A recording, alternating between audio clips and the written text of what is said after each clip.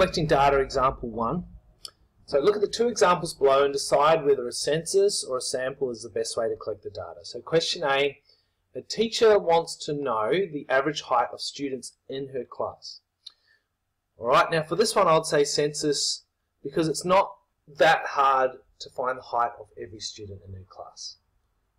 I mean, she could have done a sample, she could have picked just 10 out of 30 kids, but it's not the end of the world to do, do all of.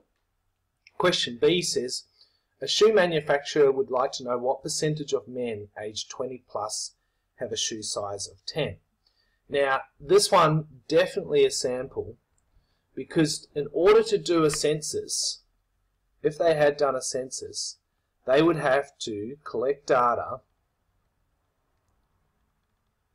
from every man aged 20 plus in the country.